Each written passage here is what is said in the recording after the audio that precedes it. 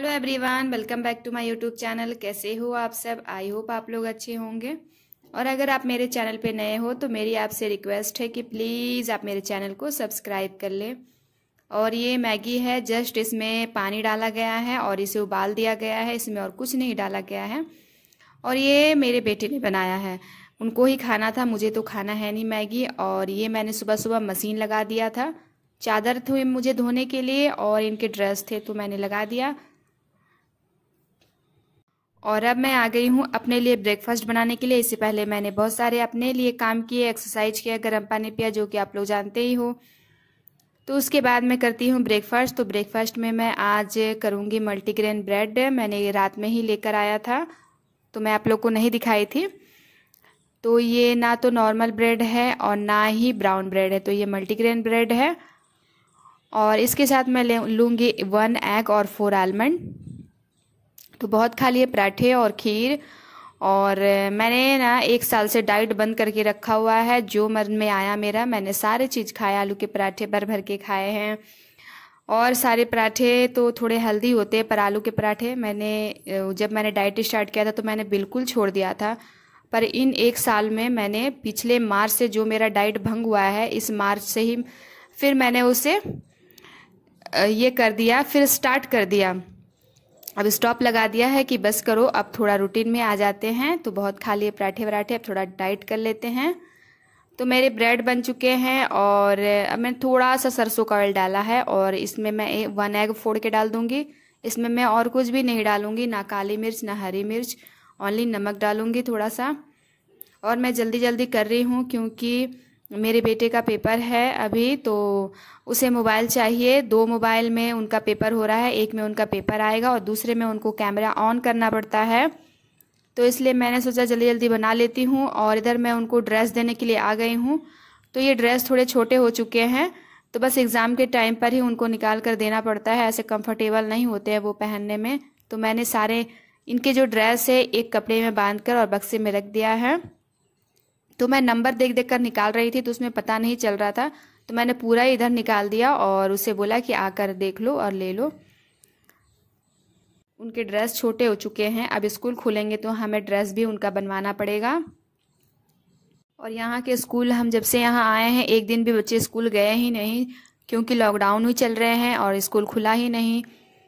तो ड्रेस का भी पता नहीं है कि कैसा ड्रेस है कलर का थोड़ा सा प्रॉब्लम होने लगता है तो इसलिए हमने ड्रेस नहीं बनवाया है। अब जब स्कूल खुलेंगे तो हमें पता चलेगा तो फिर हम इनका ड्रेस बनवाएँगे। और ब्रेकफास्ट देखिए, मेरी हो गई है तैयार तो टू मल्टीग्रेन ब्रेड है वन एग है और फोर आलमंड है। और इसके साथ मैं थोड़ी सी चाय भी ली थी। उसका मैं रिकॉर्डिंग नहीं कर पाई, क्योंकि मेरे बेटे अभी तक, मेरे बेटे ने अभी मोबाइल ले लिया और वो लेके चला गया है अपना पेपर देने के लिए। तो मैं मिलती हूँ आप लोगों से दोपहर को। तो लंच का टाइम हो गया है और मैं जैसे ही सावर लेकर आई, बच्चों, मेरे बेटे का पेपर ख़त्म हो चुका था और बच्चों ने बोला कि हमें तरबूज खाना है, ये कल ही आए थे तो तरबूज लेकर आए थे। तो घर में अगर तरबूज आ जाए तो बच्चे परेशान होने लगते हैं कि जल्दी दे दो, एक यही फ्रूट है जिसे देखकर वो बहुत खुश होते हैं। खासकर मेरा बेटा, क्योंकि बेटी तो मेरी सारे फ्रूट खा लेते हैं और बनाना जो होता है ना, उसमें थोड़े से भी दाग हो तो बच्चे खाते नहीं हैं। बिल्कुल एकदम सुंदर सा बनाना हो, वही खाएँगे वो। और ये देखिए कितने तेज़ी से दौड़ कर आई। जब मैंने बोला कि काट दिया है मैंने, ले जाओ। ये तब से परेशान कर रहे थे। मैंने बोला, नहा के आने दो, मैं फिर काटूँगी। और ये लेकर चली गई है। तो अब मैं अपने लिए और मेरे बेटे के लिए भी काट रही हूँ। तो हम खा लेंगे, उसके बाद मैं बनाऊँगी आराम से लंच और मैंने देखिए बर्तन जो वॉश किया था मैंने, वो भी ऐसे ही पड़े हुए हैं, उसको भी मैंने नहीं लगाया। तो पहले हम खा लेंगे तरबूज, उसके बाद हम लगाएँगे बर्तन और उसके बाद मैं बनाऊँगी लंच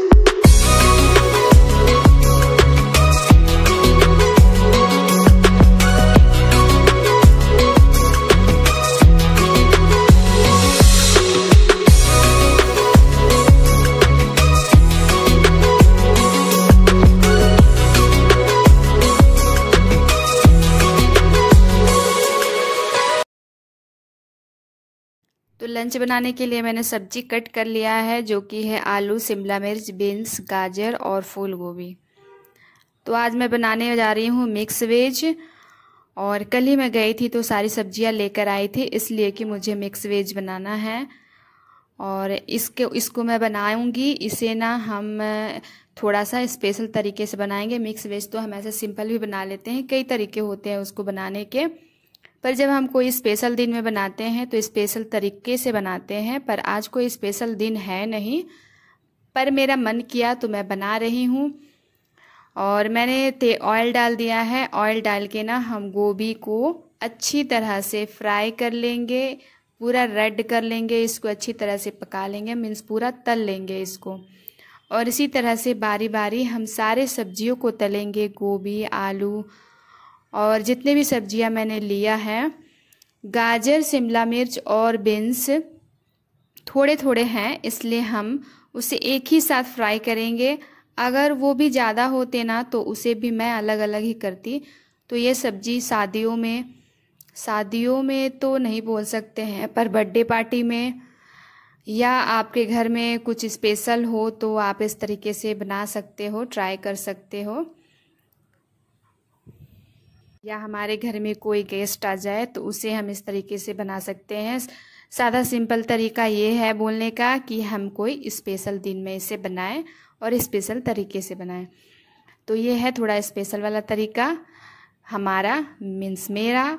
मैं ऐसे ही बनाती हूँ तो आलू को फ्राई कर लिया मैंने, गोभी को फ्राई कर लिया और ये शिमला मिर्च, गाजर और बीन्स को मैंने एक ही साथ फ्राई किया है। क्योंकि ये थोड़े से हैं, अगर ये भी ज़्यादा क्वांटिटी में रहते तो इसे भी मैं अलग अलग फ्राई करती और मेरे पास पनीर नहीं था, वरना मैं इसमें पनीर भी डालती। और उसके बाद मैंने थोड़ा सा सरसों का ऑयल डाला है और उसमें जीरा, हींग डाल दिया है और पेस्ट का मैंने पेस्ट बनाया है, प्याज, मिर्च और अदरक का। आप लहसुन भी ले सकते हो, मैं नहीं लेती हूँ और मसाले को अच्छी तरह से फ्राई करने के बाद, पकाने के बाद हम उसमें डाल देंगे हल्दी और धनिया। और इसे भी अच्छी तरह से पका लेंगे और इसे अच्छी तरह से पकाने के बाद हम इसमें डालेंगे टमाटर का पेस्ट और टमाटर के पेस्ट को भी अच्छी तरह से पका लेंगे और उसके बाद हम इसको अच्छी तरह से चलाते हुए भूनेंगे, अच्छी तरह से पकाएँगे और नमक डाल देंगे ताकि हमारा जो टमाटर है और जो मसाले हैं वो जल्दी से पक जाए और जब ये पक जाएँगे तब हम इसमें डालेंगे टोमेटो केचप तो मिक्स वेज में थोड़ा सा ज़्यादा ही जाता है टोमेटो केचप तो इसे हम अच्छी तरह से चला लेंगे। दो तीन मिनट तक अच्छी तरह से भूनने के बाद हम इसमें डाल देंगे कसूरी मेथी। और कसूरी मेथी डालने के बाद हम तुरंत ही डाल देंगे इसमें हमारी सब्ज़ियाँ जो कि हमने तल के रखी है। इसमें आप जो सब्ज़ी खाते हो, वो इसमें ऐड कर सकते हो, जो नहीं खाते हो, उसे आप हटा सकते हो, स्किप कर सकते हो। तो इस सब्जियों को डालने के बाद हम इसे अच्छी तरह से चला चला कर और पकाएँगे जब तक कि हमारी सब्ज़ियाँ नीचे से लटकने ना लगे। और ऐसे सब्ज़ियाँ हमारी पक ही गई है। अगर थोड़ी बहुत कसर रह गई है तो वो हमारी इस टाइम पक जाएँगी। और अगर ना पके तो हम इसमें थोड़ा सा पानी डाल सकते हैं सब्जियों को पकाने के लिए। और अगर आपकी सब्ज़ियाँ पक जाए तो आप ऐसे ही उतार सकते हो। पर मैं इसमें डालूँगी थोड़ा सा पानी।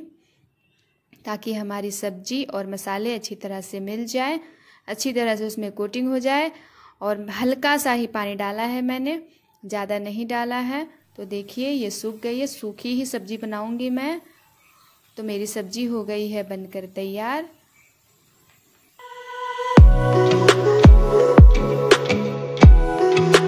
सब्ज़ी के साथ मैंने बनाया है दाल, रोटी और चावल।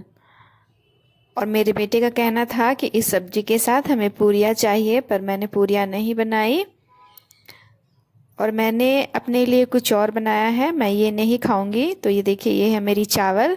थोड़ा सा ही चावल बनाया, बच्चे ही खाएँगे हस्बैंड जी भी तो खाएँगे नहीं चावल। और ये देखिए, मैं फिर से आप लोग को सब्ज़ियाँ दिखा रही हूँ, सब्ज़ी दिखा रही हूँ सॉरी और मेरी दलिया भी बना लिया है मैंने, वो मैंने आप लोग को नहीं दिखाया है। तो ये देखिए, ये है दाल वाली दलिया। तो ये खाऊँगी मैं। इसमें मैं सिर्फ़ डालूँगी एक चम्मच घी और कुछ नहीं डालूँगी और जो भी डालना था मैं डाल चुकी हूँ। तो ये है मेरी हस्बैंड की थाली और मेरी तो आप लोगों ने देख ही ली। तो अब हो गई है शाम और मैंने ले लिया है इवनिंग स्नैक इवनिंग स्नैक में मैंने लिया है वन एप्पल और टू रस्क है। रस्क नहीं लेनी चाहिए थे मुझे, पर मैंने लिया है। अब धीरे धीरे ही छूटेंगे और ग्रीन टी लिया है मैंने आज। तो मैं ये खाने के बाद चली जाऊँगी वॉकिंग पर। तो चलिए मैं अपना इवनिंग स्नैक इंजॉय कर लेती हूँ। चलते हैं, हम थोड़ा वॉकिंग करके आते हैं। और बेटी मेरी आ गई है दरवाज़ा बंद करने के लिए। ये आज घर पर ही है। ये नहीं गए थे खेलने।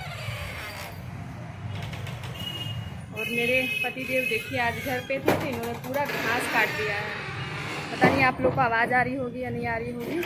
और शाम हो गई है और मैंने अपना मास्क ले लिया है। तो उंगली की चोट की वजह से मैं नहीं जा रही थी, पर अब जाना पड़ेगा। और ये देखिए मेरी चोट। तो अब थोड़े ठीक हो गए हैं तो मैंने पट्टी निकाल दिया है। तो अब मैं जा रही हूँ तो चलिए मैं वॉकिंग करके आती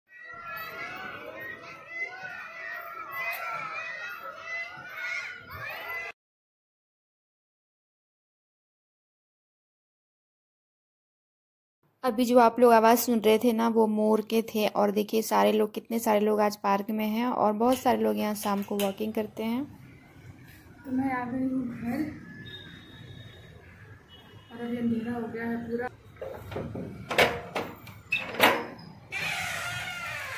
तो मैं बच्चों को ना पढ़ाने बैठा के और गई थी वॉकिंग मेरा वॉकिंग भी करने का ज़्यादा मन नहीं कर रहा था। उनके बिना मुझे लगा कि बच्चे घर पर अकेले ही हैं और मैं वॉकिंग करूँ तो मैंने ज़्यादा चक्कर नहीं लगाया, एक दो चक्कर लगाकर उसके बाद मैं वापस आ गई थी। तो मैथ का पेपर रहने की वजह से ये बच्चे, मेरे बेटा जो है वो मेरी बेटी को थोड़ा पढ़ा रहा था और अब मैं आ गई हूँ अपना डिनर करने के लिए। तो डिनर में मैं वही खाऊँगी जो मैं दोपहर में मैंने अपने लिए बनाया था। लंच में थोड़ा ज़्यादा बन गया था तो मैंने उसे ही आधा रख दिया था और आधा मैंने खाया था तो इसको मैं गर्म कर लूँगी और खा लूँगी इसको ही। और इसमें मैं बस एक चम्मच घी डालूँगी और कुछ नहीं डालूँगी। बच्चों के जब पेपर हो ना तो इनसे ज़्यादा टेंशन हमें होने लगता है और मुझे तो खास कर होता है। मैं किसी भी चीज़ का एक्स्ट्रा ही टेंशन लेने लगती हूँ। जब ये फ्री हो जाते हैं ना तो इनसे ज़्यादा खुशी मुझे होती है कि चलो बच्चे, फाइनली अब थोड़ा सा फ्री हो गए हैं। और हमारे भी जब पेपर होते थे तो मुझे ऐसे ही एक दो महीना पहले से ही मुझे टेंशन होने लगता था और जब हमारे पेपर ख़त्म हो जाते थे तो इतनी खुशी होती थी कि अब फाइनली हम नए क्लास में जाएँगे और नए बुक मिलेंगे हमें। और यहाँ हमारा थोड़ा मरहम पट्टी हो रहा है क्योंकि चोट खुले हैं ना तो चोट लग जाती है तो दर्द होता है, इसलिए मैंने बोला पट्टी लगा दो तो ही सही रहेंगे। और अभी थोड़ा ठीक हो चुका है, थोड़ा नहीं, ज़्यादा ही ठीक हो चुका है, थोड़े बहुत बस है। और रात में सोने से पहले मैं लूँगी एक गिलास दूध। इसमें कुछ भी नहीं डालूँगी नो शुगर नो गुड़। ऐसे ही मैं लेती हूँ।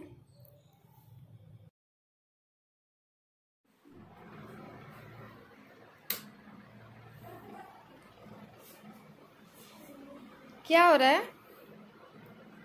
Swimming pool swimming pool? किस लिए। नहाने के लिए स्विमिंग पूल? अच्छा और कुछ नहीं मिला ढूँढने के लिए? हाँ अब गर्मी का दिन आ भी गया है। चलिए तो मैं अपने वीडियो का भी एंड करती हूँ। अगर आप लोग को मेरा यह ब्लॉग अच्छा लगा हो तो लाइक शेयर सब्सक्राइब और प्लीज़ कमेंट करके जाइएगा। Okay bye good night.